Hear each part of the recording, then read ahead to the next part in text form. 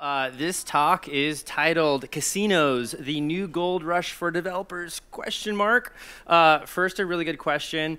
Why me? Uh, I'm currently CMO at Gamblit Gaming, which is bringing uh, basically casual and arcade style games to land based casinos and to mobile. Instead of traditional casino products like slots and stuff, we're taking games like people play on their phone and bringing those onto the casino floor. So uh, I graduated high school at 14, massive nerd.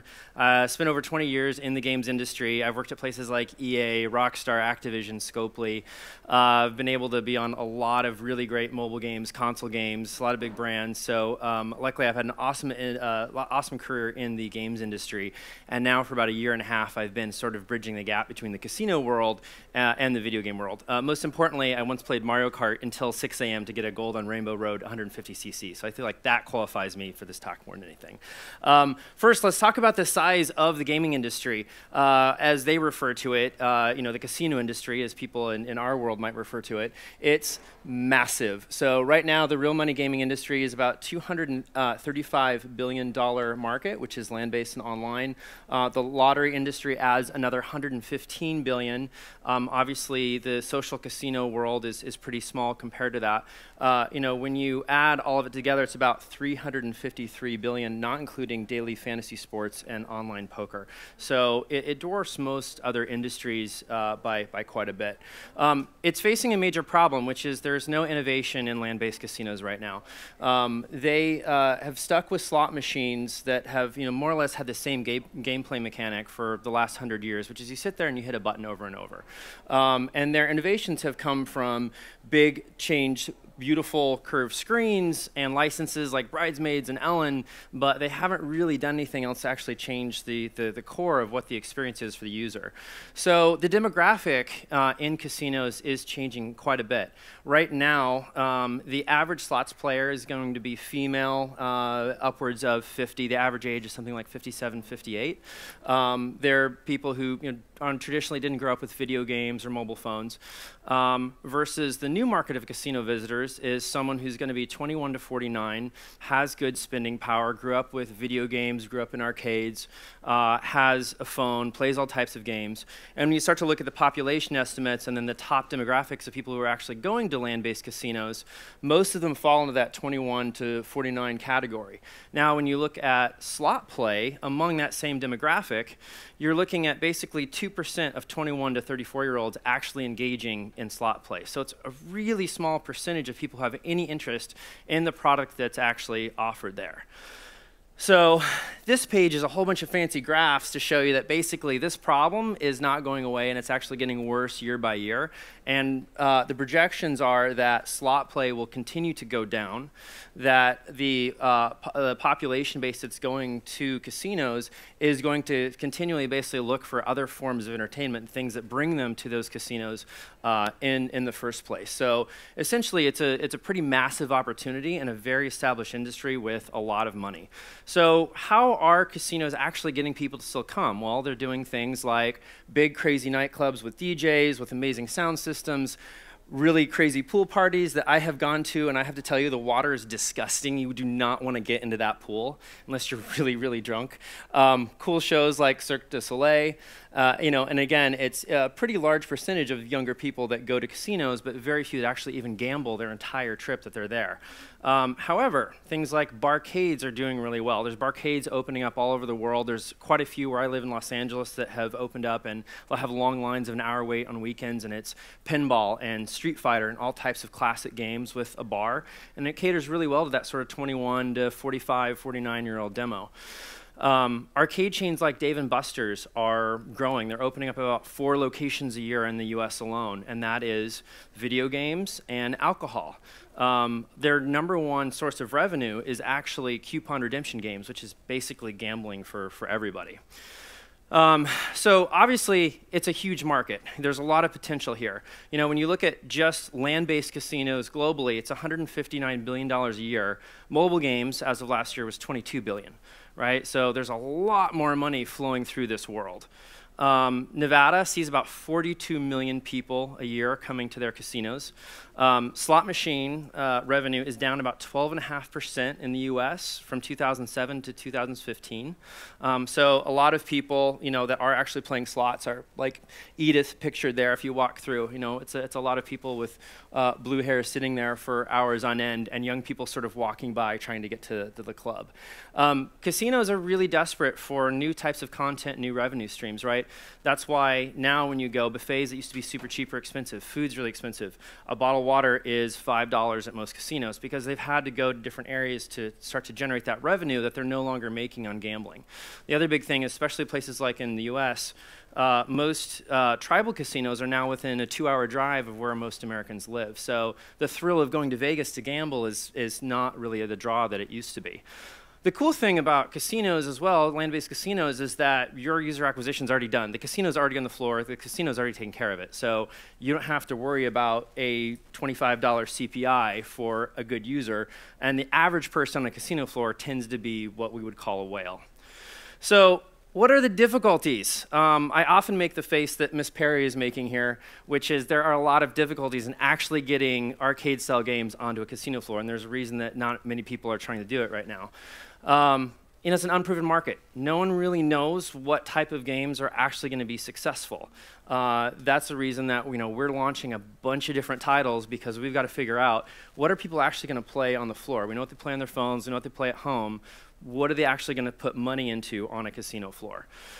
What companies that are trying to make skill gamings or uh, skill games are actually going to make it. You know, there's a handful of us. There's probably three or four companies that are trying to do it right now. Uh, no one really knows who's actually going to make money, who's actually going to be successful at it will the slot companies come around and actually start creating skill content? You know, uh, they've been really slow to shift, as most major, massive corporations and billion-dollar corporations are, and they've sort of been eyeing the market. But the difficulty they face is if they start making skill games now, they're going to eat into the market of selling slot machines.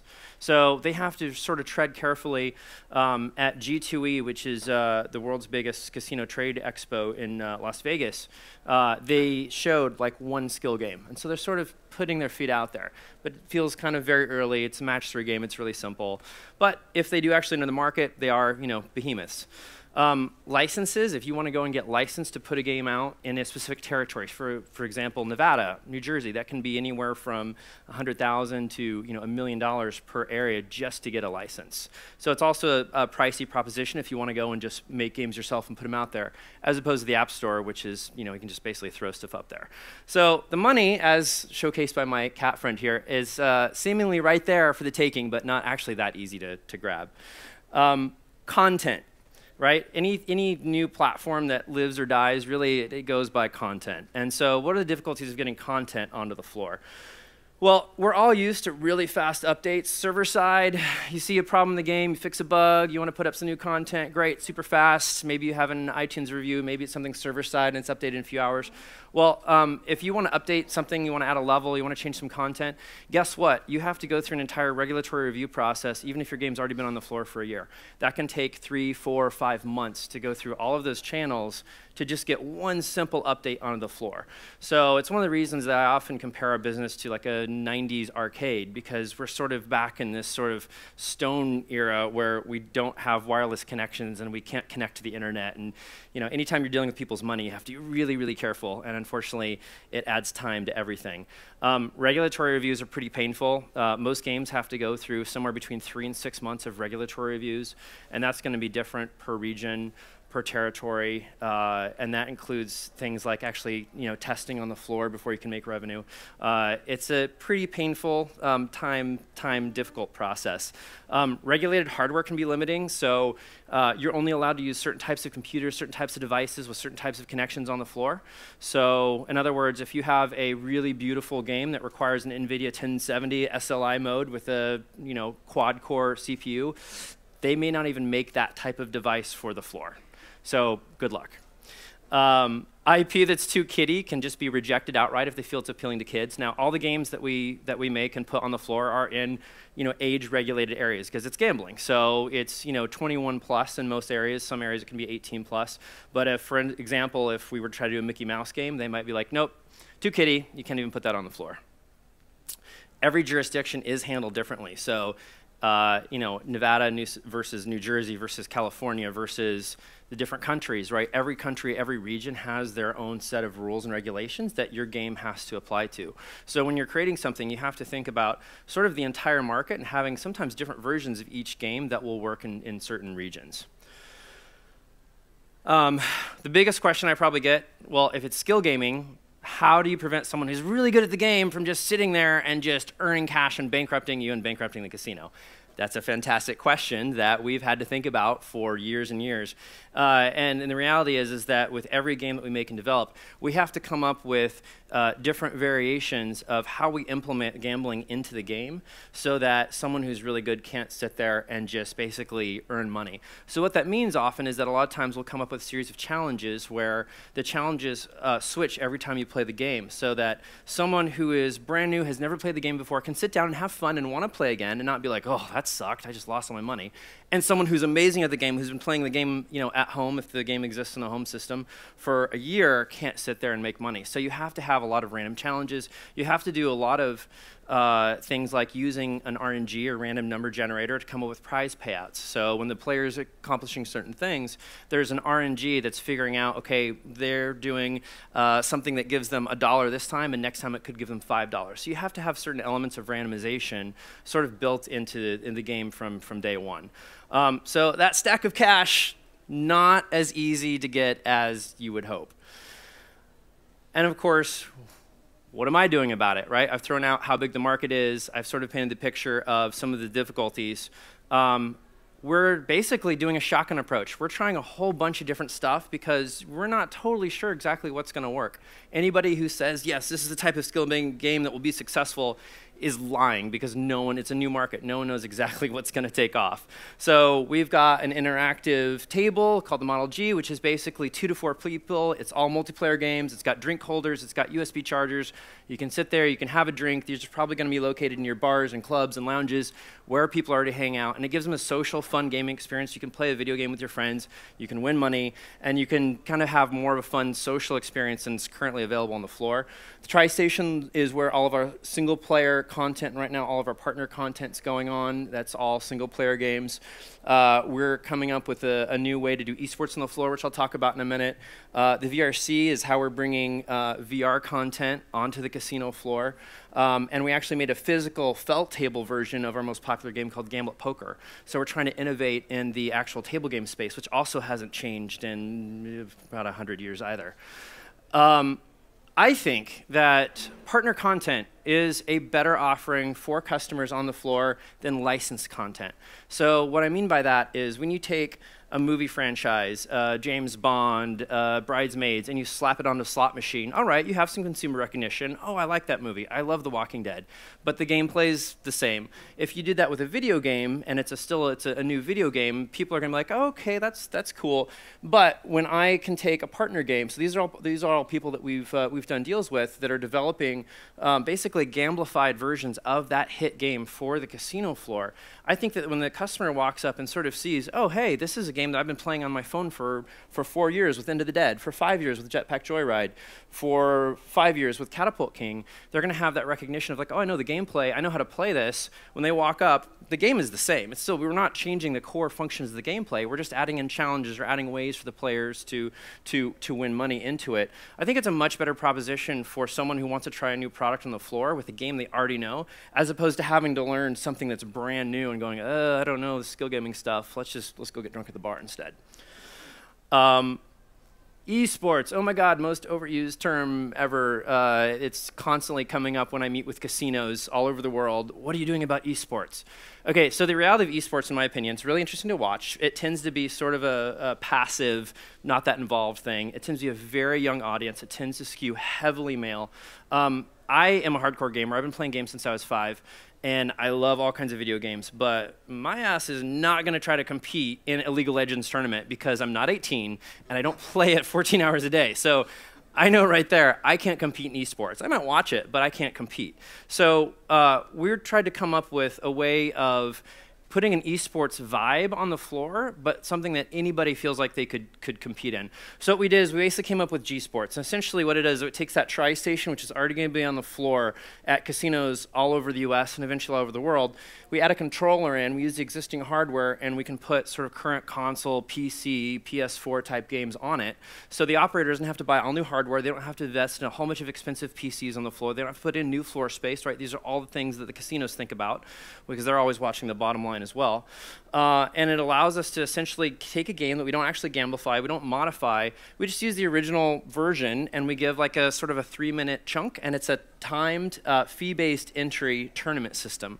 So essentially if you're one of the top three people on the leaderboard for the set tournament time, let's say it's six hours, if you're in the top three, you're gonna win the prize pool that's in there. And every time that you play, let's say it's 20 bucks an entry, every time that you play, that prize pool is gonna go up. So it's really simple. If it's a game that I'm playing at home now, which Road Redemption's awesome.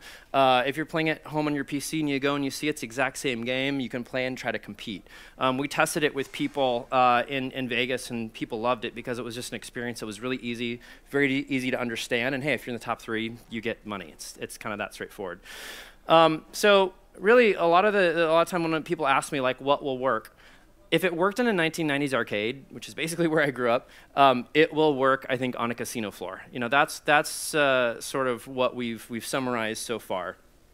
Stuff that's simple and quick to learn, stuff that uh, has a nice, compelling, sort of long to master type of gameplay. Mario Kart, Tetris, right, Street Fighter. That there's layers to it. But if you've never played before, you can walk up to it and just start playing. Things like that, I think, are going to work really well.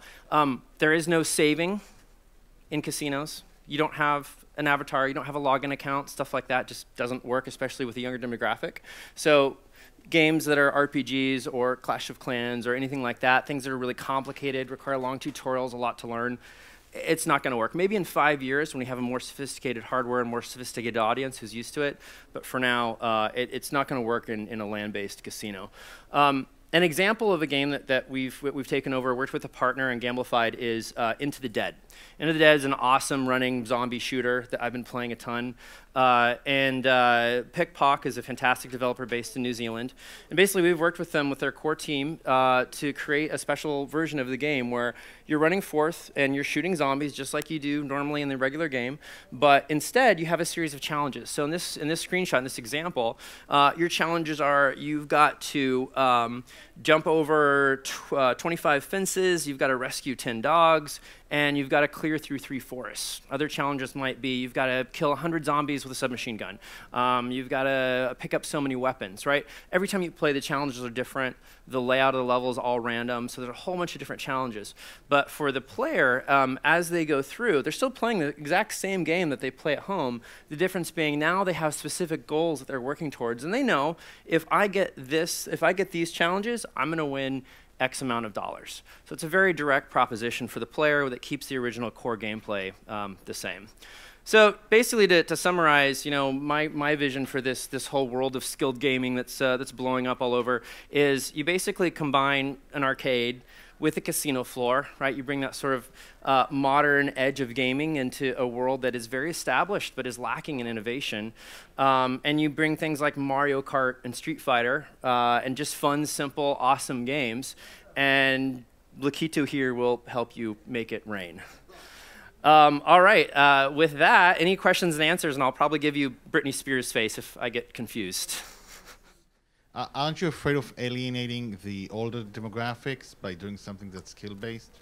Yeah, uh, that's a great question. So, um, one of the cool things about our machines is that they're all multi-game machines. So that TriStation that, that, that you saw a picture of, um, we have uh, nine games running on it right now. It's going to launch with three, and they're all totally different experiences. So um, there, in theory, is something that appeals to everyone. If you want to shoot zombies in the face, um, great. That that game's on there. Into the Dead's on there. If you want to match words, um, there's a game called Lucky Words. If you want to match cute, adorable creatures, uh, it's kind of a match three style game. We have a game called Match Three Evolution, uh, and it's, uh, it's I think it's important to give that wide range of experiences. And it's actually really funny because we had a lot of assumptions, you know, going into this of this type of person will like this type of thing. And when we were showing all our games at, at G2E last month in in Vegas, um, one of my main hosts came up to me and she's like, "Oh my God!" She's like, "Women love Into the Dead."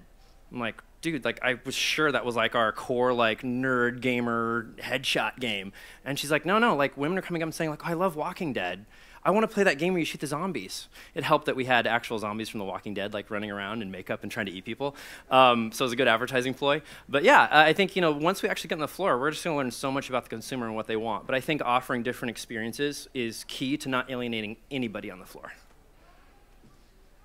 Hi. Uh, when you play slots, then you have a lot of spins. The player can make a new spin every two, three seconds. Yeah. So the sync is very high. Yeah. What happens in these kind of games? I mean, how do, do you define session?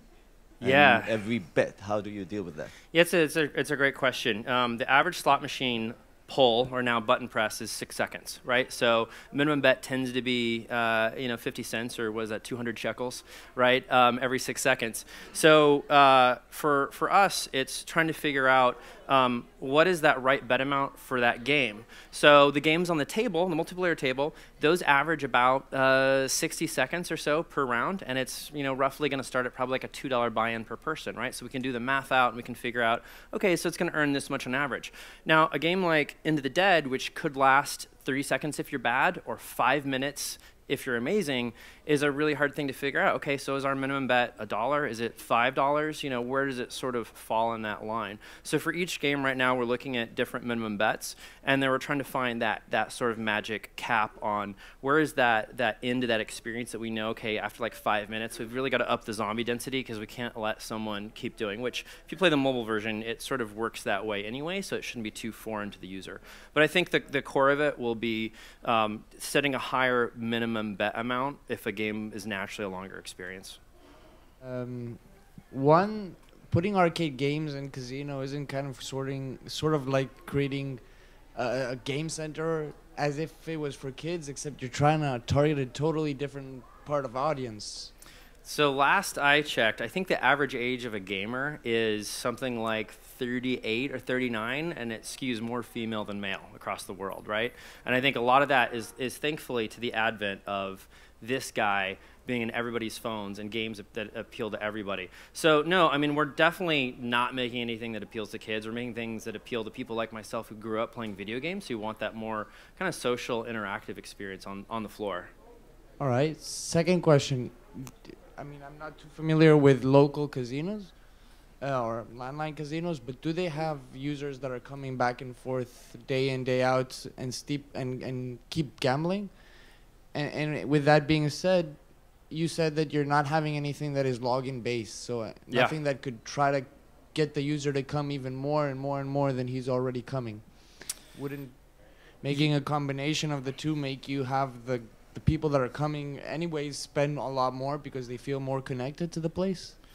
Yeah, uh, the reality is um, getting younger people. There's a few questions there. So first off, like the whole like, why don't you have an account? Why don't you have a login?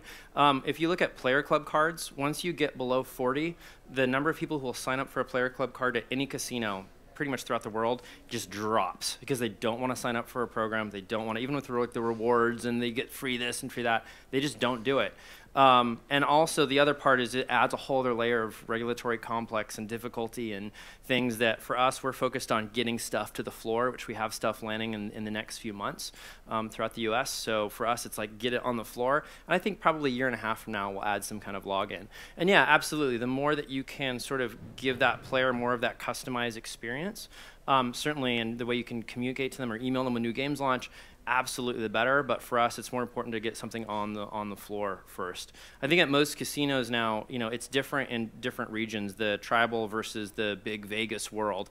You know, where tribal you might have people going twice a month. Vegas you have people going maybe four times a year on average. Um, so it's it's a different type of mentality in each location. But again, that's one of the reasons I think we're offering a huge range of experiences. Of here's your multiplayer drinking game, and here's your like single player. Like I want to burn a few hours because I got home from the club and I'm I'm not tired yet.